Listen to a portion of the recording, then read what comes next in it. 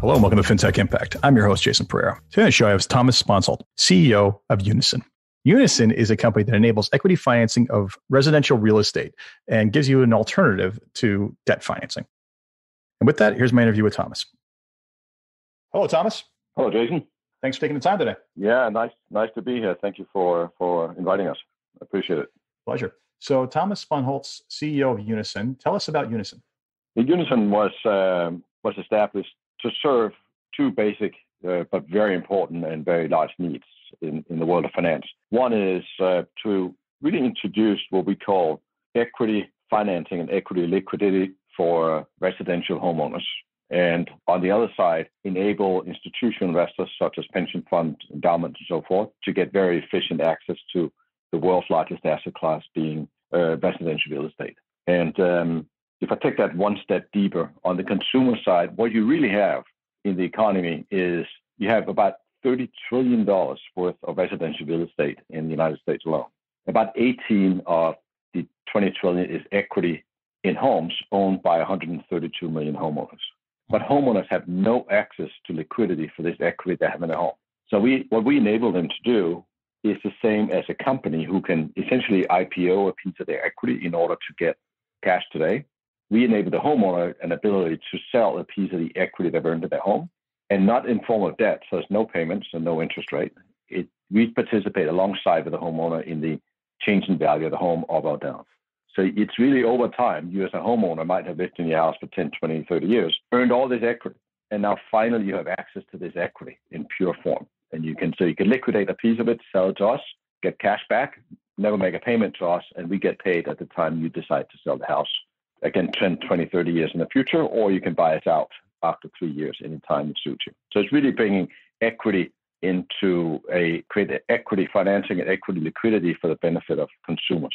This really was a big missing piece in residential real estate finance, as well as I would maybe even say more importantly for financial advisors who now for the first time can include the client's biggest asset and I would say also the most important asset as part of the financial plan by including the equity that they own in the home, much like you include equity they own in a company or in the, as you know, in the past, it was stocks, bonds, cash, and very simplistically. Now you're actually including the home. And for the average American, the equity in the home is about 80% of their net, net worth, but there was no way to include it before.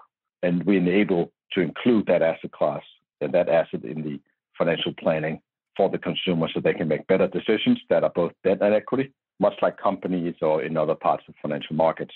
You know, people can finance their life uh, with debt and equity, and now you can do it in residential real estate as well. Excellent. So, I mean, I've had a couple of conversations about fractionalization of ownership, so we're going to definitely dive into it uh, a little bit further. But before we do, tell me about what the impetus was for the creation of the company. It came, uh, the very first idea came when I, I, was working for, at the time, the world's largest institutional investment management firm, uh, Barclays Global Investors, and we had just launched iShares, uh, obviously a way to make index investing very efficient for consumers. And uh, one of the problems we're having when we dealt with the institutions, again, big pensions around the world, was that many of these institutions have a natural need to deliver protection, inflation protected investments to their participants in the plan. But, and the biggest part of inflation is housing at about 40 some percent. Mm-hmm. And you can imagine if you're somebody saving up for retirement, when you retire, your biggest expense is most likely to be housing but you could not invest in housing as an asset class, as an institution. But they had the mandate that they were given by the participants to protect them against this kind of housing inflation. So the first idea was how do we create an efficient way for an institutional investor to get exposure to the asset class of housing? That's where it started. And then very quickly thereafter came the, the kind of the realization that the inverse problem lives with the consumer. The consumer has too much exposure to their individual house mm-hmm. rather than housing inflation in general. So, on consumers had too much house for their financial plan, and the institutional investor had too little.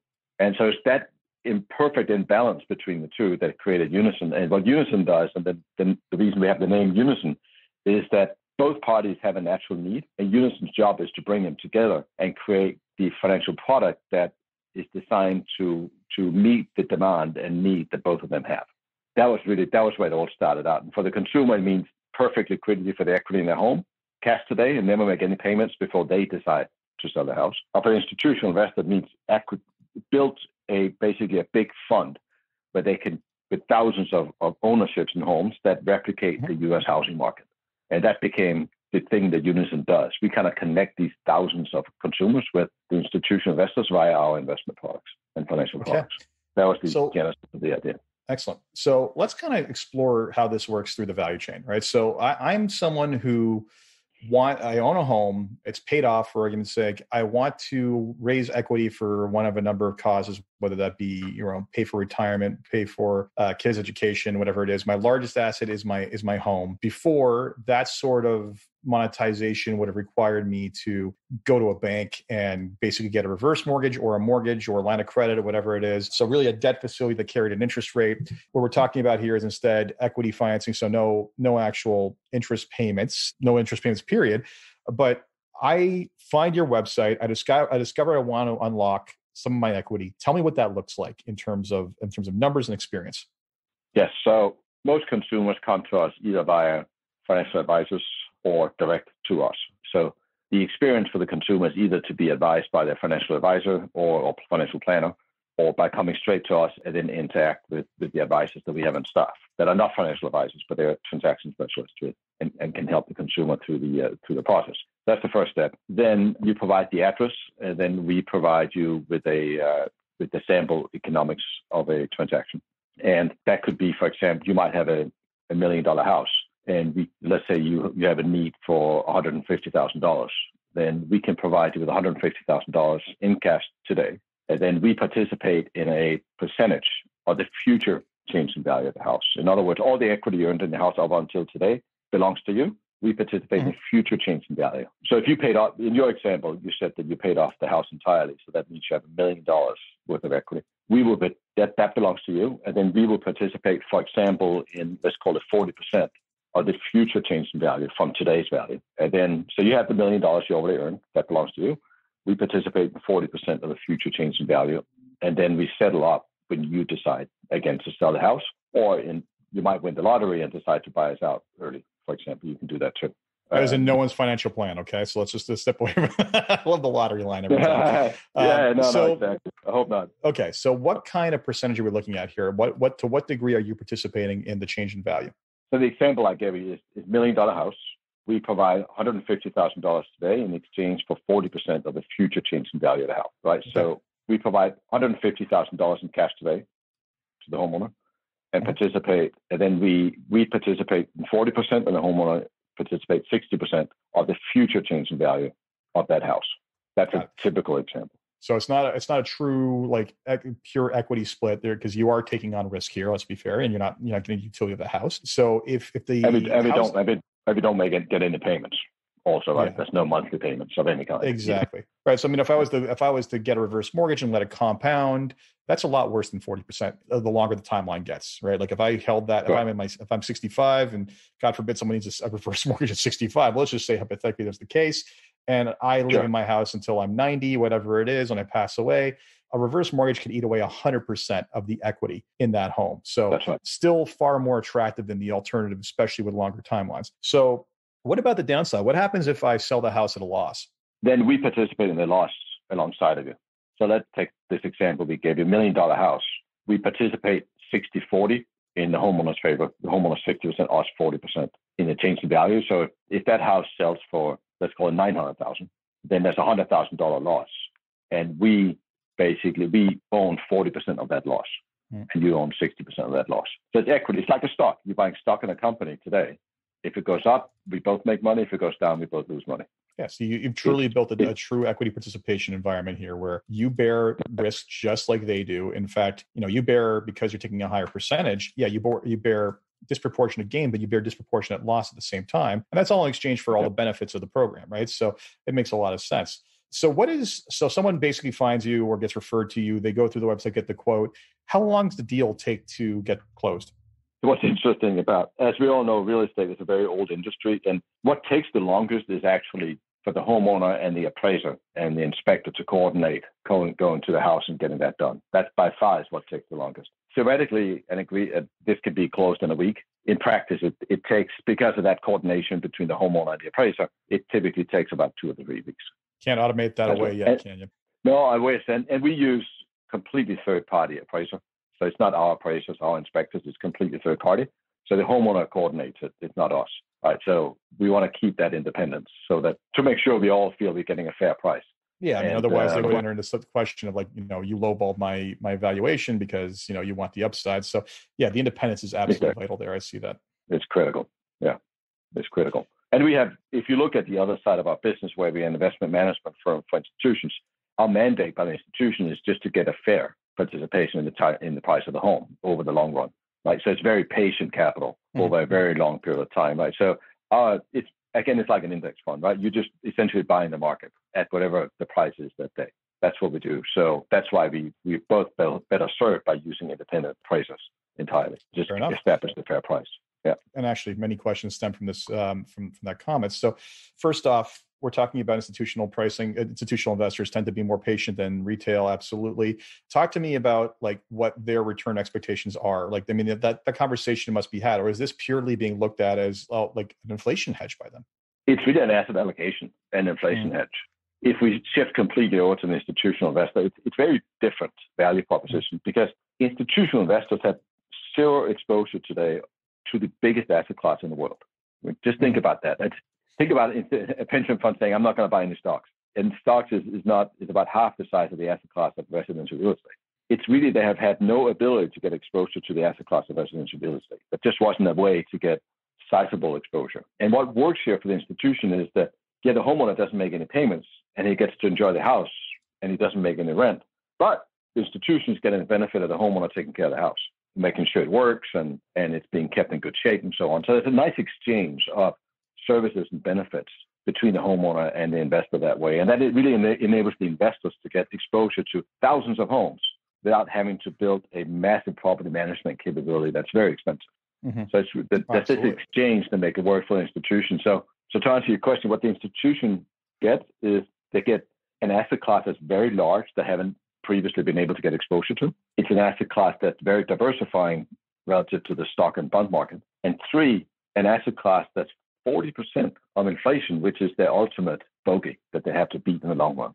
It's a missing asset class in their asset allocation. And that's, yeah, again, I mean, is why I started it, right? It, it's just missing. Yeah, I mean, well, just uh, you know, we think about it. To date, the alternate, the only option for investment in residential real estate has largely been residential REITs, in which case you're dealing with a renter right. environment, not an ownership environment, which I mean can be lucrative But at the same time. I mean, there's been plenty of studies done that show that people who own uh, who own property tend to treat it better than people who don't, and therefore the the cost of maintenance tends to be higher on rental on average. So yeah, it's it's exactly. it's it's interesting. Uh, and not only that, I mean, there's we can get the different issues surrounding multi-tenant dwellings and everywhere else, everything else, but it's complicated. So right. yeah, it is. I mean, it's a it's a pretty gaping hole when you think about it. So yeah, so basically this gets turned over two weeks. How much attention is your company or or the investors in general paying towards like regional diversification? Like if you start to get too much interest from one region of the country or one city in particular? Are you concerned about capping that off for too much for, for lack of diversity? We are, and obviously we have to construct a portfolio that is in line with the mandate we have from, from the from the investors. The way to deal with that, very simply, is to be able to originate in many different areas around the country. So, for example, we are in 30 states around the country, have originated in over a thousand cities. So we have the ability to originate across many, many states. And that's why it's important the way we have the way consumers come to us, as, as I explained earlier, is either via partnerships or our own direct to consumer outreach. And so if partners are bringing us, to use your example, a disproportional number of assets from Washington, D.C. and Boston, for example, then our direct to consumer effort will then focus their effort in the other locations where we then where we're not getting deals from the partners and thereby balancing out the portfolio. That makes Having said sense. that, diversification, as we all know, as all your financial advisors know, diversification truly is the only free lunch in investment management, right? So it's there, there are still some advisors you got to convince of that, unfortunately. It is what it is. But uh, yes, the only proven right. one. There might be some we don't know. There might be some we yeah. don't know, but the only yeah, one exactly. we do know. Yes, academia has proven it. Everybody, whether you want to believe it or not is your choice. Fair enough. But so, a simple, a very simple decision as it relates to a home is that a single home has the same volatility or risk, as we call it, as the stock market like mm-hmm. a single home has the same volatility as the stock market. And you and the typical American have 70 to 80% exposure to that single stock, if you will. That's the same volatility, but that's not very good asset allocation. But if you take the national market, that volatility goes from 15% to 5%. just by diversifying across the country and having thousands of homes in a portfolio rather than just one home. It's interesting because I mean, I start thinking of a paradigm of you know, if you're investing in in your own, you know, of course, invest in your own real estate uh, just by nature of owning it. But when you think about it, I mean, if I could potentially trade off some of the risk of my region to buy a more diversified pool by, you know, say for example, selling it, you know, raising equity through you and then diversifying in a equivalent pool of real estate around the country I think that would, right. you know, at least from my risk management standpoint, my mindset, I, I, absolutely do like that idea. Now I know I've heard of kind of like risk sharing, risk sharing models being floated in the past, and typically the average consumer is not big on that sort of thing in general because right. you know, control. They, they like to they don't necessarily trust their neighbors to maintain the properties properly, but they'll trust themselves. Right. Uh, you know, yeah. again, diversification is a wonderful thing. You you know you haven't you're always going to have good and bad actors in every pool. So a large enough pool should be fine. But it's funny because I mean you're, doing this at the institutional level, but I gotta I gotta think that perhaps there's a potential market on the retail level as well. I'm sure there is. I, I will say that's not our focus, and for the simple reason that the vast majority of Americans just already have way too much exposure to residential housing as it is. Mm-hmm. So the biggest the biggest change we can make there is is to enable the homeowner to diversify. So let, us just take an example. Imagine you have a 60 year old homeowner thinking about how to retire and, and they would like to have more income in retirement. The best, in many cases, as a way of example, could be to maybe, and they want to stay in their home and they got all this equity, maybe liquidate some of the equity and buy an income producing investment. Can mm-hmm. in form of a it could be a mutual fund or an annuity that pays out once you retire. But that really enables you to both get the quality of life from living in the home you want and have lower diversification and more income. Yeah, it really is. It really is staggering to think that up until now, I mean, the fractionalization of ownership was, was just a non-starter. Home ownership was a non-starter, and, and, you're right. Like the amount that we have completely tied up in one giant asset, and, and for everybody, for so many people, it, you know, it's the last act. It's always the security. It's the last asset they're going to touch because uh, the unfortunate burden was that anything else to go into to be, anything else was debt based, and it was just going to erode yeah. equity even further. So, didn't make a lot of sense. No, I mean, borrowing it's, it's borrowing your own money. Right? It's basically you own a house and you have equity, and now you now you go to the bank and they want you to pay an interest on the money that you own. Right? Yeah. It, it's it's a great deal for the bank, but it's you're borrowing your own money and paying an interest rate on that, and you might end up in nothing. And it really is the homeowner has has an equity problem, right, uh, and an equity opportunity. They have equity in the home, they just don't have liquidity. So yeah. what we that's what we're saying. Let's have an equity equity problem needs an equity solution where the homeowner is Absolutely. in charge. It's really as simple as that. It's like a company. Do I want to, I need cash? Do I want to issue debt or do I want to issue equity? Depending on my financial situation and my financial goals and, and what have you. It's a very simple idea um, that we didn't invent. We just introduced it and built what was required to to do that scale. Yeah, and more often than not, a conversation goes towards retirement. But you can think of any number of, I mean, there's any number of times where your the large liquid asset in your life could solve your solution if only you could liquidate without giving up the right to it, right? And I think that you know, there's whether that be you know, I think about just whether that be even wanting to start your own business or basically running in or that business running into a period of hardship or need to expand your own business. You know, to date, almost everything has been debt based solutions, which by the, you know, like as you said, by their nature, you're basically paying someone to access your own capital as opposed to being able to access your own capital. So it's like, what an ingenious solution for a problem that shouldn't exist. you know? Yeah. Yeah. So you actually don't have a problem. It's more that you don't have a solution you don't. That's the pro- that's that's exactly right. Yeah. You know, I think it's and any business owner, any entrepreneur can attest to the frustration of that. It's like, well, on paper, I'm worth this money, you know, this much money, but in terms of my investment accounts, you know, there's a fraction of it there. And if I need liquidity, well, you know, the largest thing, the thing that makes me super wealthy is is the is the thing that basically makes me super liquid too. So it can be a challenge. Yeah.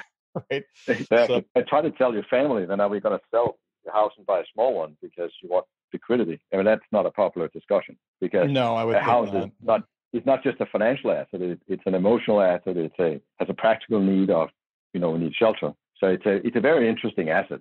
And, and what we're really trying to do is slightly more academic, but it's really trying to separate the living of a home and the, the experience of having a home from the financial liability and the financial asset of a home. So you can separate mm-hmm. them and manage both of them optimally. Right? You can live and have the experience you want in your home, like, for example, now during COVID, a lot of people have decided to move out of the city because they need more space. They need you know, two more rooms because they're working from home. Well, why not do that, right? But that doesn't mean you have to own the entire house. You can just own the part that is financially responsible and comfortable for you to own. Yep. So you exactly. can get that. So you're separating the living of in a house from the financial commitment of a house and making both rational. And it was just missing. Like what we're doing was just missing, and now it's here. Yep, it's uh, a frustrating conversation I've had on many occasions in regards to the lack of ability to do anything other than debt. So I appreciate that. So talk to me about feedback in general. I mean, clearly you have institutional demand for this because if you didn't, you wouldn't be doing it because that's the course of equity capital. How about the actual people who've who've utilized your system? What's the feedback you've gotten from them? You know, it's interesting when we when we launched the business on the consumer side in the beginning, it was really a classic new to the world product experience meaning that we didn't know how to describe it, how to talk about it. We didn't know what we might feel it serves certain needs, but what does a consumer do? Do they feel they have a need? Or do they have a need but don't want to act on it? And how do you communicate? Do you communicate through an intermediary or direct? them? And all this, you can just imagine this myriad of, of experiences that we had. So we decided to just basically go out on a, on a large scale and try all types of channels and all kinds of messaging to get the feedback from the market rather than us having mm-hmm. hypotheses about what worked. And and we learned a lot. I mean, just how to talk about it. We learned, for example, that using the word equity financing was difficult to understand because people thought it was home equity line of credit mm-hmm. in the beginning, and then you had to un- unexplain it, especially for, for mortgage brokers, for example, they were talking about it. They had to unexplain rather than explain. So that was on. And but when we come down to you know, to answer your question directly about what was the reception, what we learned is um, communicating directly to the consumer is a lot easier many times than going through intermediaries because they know they have a need. It can be to they want to pay off medical debt, credit card debt, student debt, pay for the kids' tuition, buy a summer house, plan for retirement, right? And then once they learn that there's a way to do it, an alternative, they just look at the alternative. It can be you can sell stock in their portfolio, they can sell equity in the house, they can borrow money. And then the consumer is really very good about saying, you know what, I want to explore this more, and that fits me. So what we really learned is that we we need to clearly explain what it is and how it works, and just let the consumer decide what alternatives is best for them. So it's very different than an established product where they, they go out and specifically grab something off the shelf because historically that has been the only solution to their need, right? So it really was, we had to insert ourselves into that discussion. So what did we learn? We learned that the biggest use cases uh, really is retirement planning and in retirement. So both of those, right? And then paying off debt. So in other words, you have debt, but you also have a lot of equity. So now you sell a piece of your equity to pay off your debt, and then your economy is in better balance. So have, there's a lot of that going on, and that way people are experiencing you know higher FICOs, better balance, and they can sleep at night. So we're seeing a lot of debt debt by equity rebalancing using using the equity in the home, and then as I said, the financial planning and uh, for retirement is is very big. So those are I would, I would say those are the two big ones. So then uh, the third one is a little bit part of retirement, but it's really home improvement, especially right now with COVID, right where people want to build an extra office, for example. Well, um, I mean, that or you're, you're, just stuck indoors and you're seeing the condition of everything. You're deciding I need something to do with my time because I can't go out and spend money elsewhere. so it makes a lot of sense. Yeah, yeah, yeah. And you don't want to take on more debt, essentially, right? Exactly. You're seeing a lot of that. Yeah. Yeah. Excellent. So I have three questions I ask people before we wrap up every time and to kind of make you thinking on a positive okay. note. The first question is, is if you had something you could change in your company or the industry as a whole, what would it be? This is a really good question. Would you mind if I separate the two between no, the industry and the company? You're you're allowed more than well. Yeah, so, I mean, you know, of course, the first wish is always to have more wishes, right? So by all means, go right ahead. fair enough. Fair enough. What I wish we could change about the industry, and I define the industry in this case to be consumer finance. What I really wish is that there's real education of the consumer of consumer finance.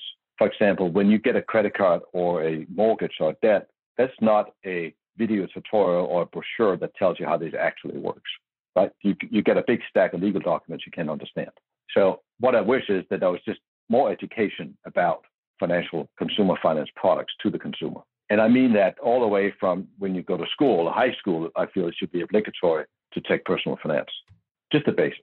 And I feel that when you go shopping for a financial product or insurance product, it would be helpful if there's an actual education involved and maybe even a little test, just getting the basics down so that we can all make more rational decisions. Because as a consumer, it's always us against a behemoth company, right? And, and they have more information than we do as an individual consumer. And we don't make this transaction every day. We do it maybe once every three years. And it, my counterpart does it every day as a business. So a little bit of education of the consumer, I think, could go a long way in making the consumers make better decisions and help the companies get better clients, more educated clients, and manage expectations on both sides. I think benefits the system as a whole. So that's a wish for the industry. As it relates to the company, I think it can change.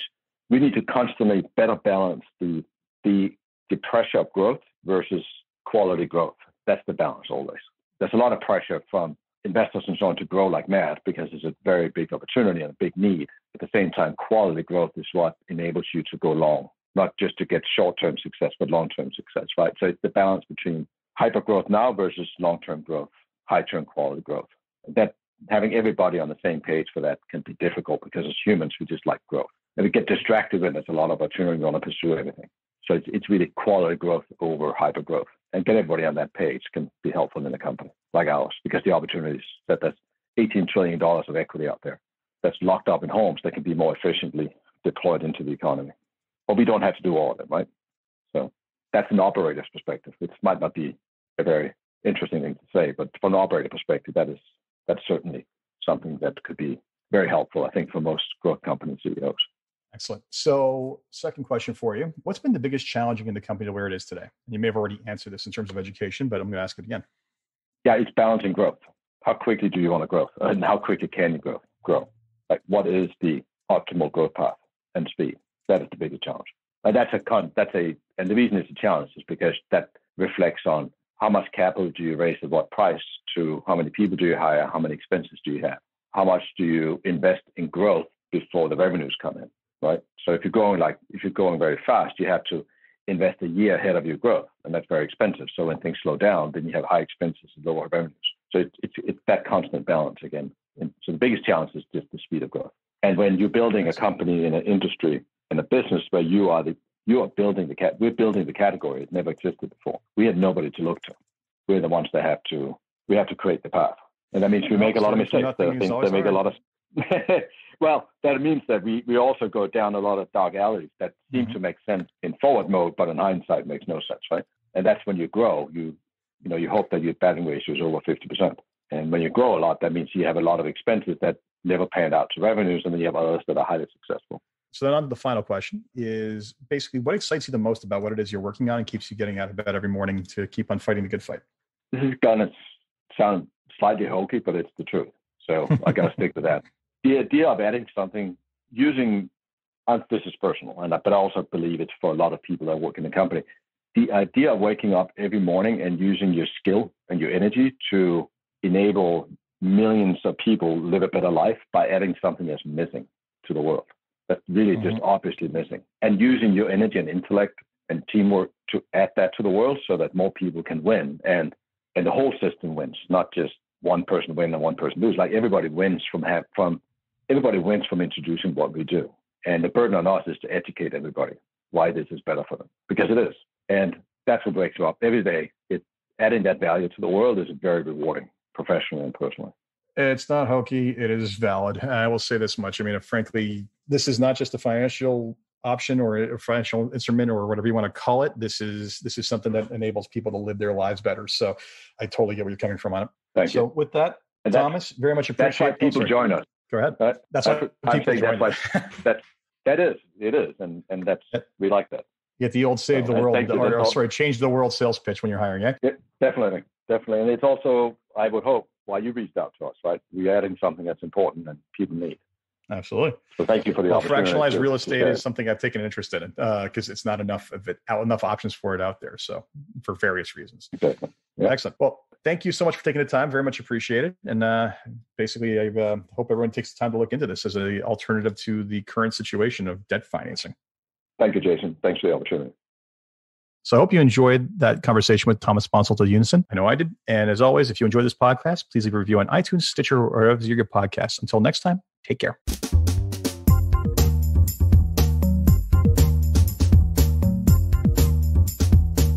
This podcast was brought to you by Woodgate Financial, an award winning financial planning firm catering to high net worth individuals and their families. To learn more, go to woodgate.com.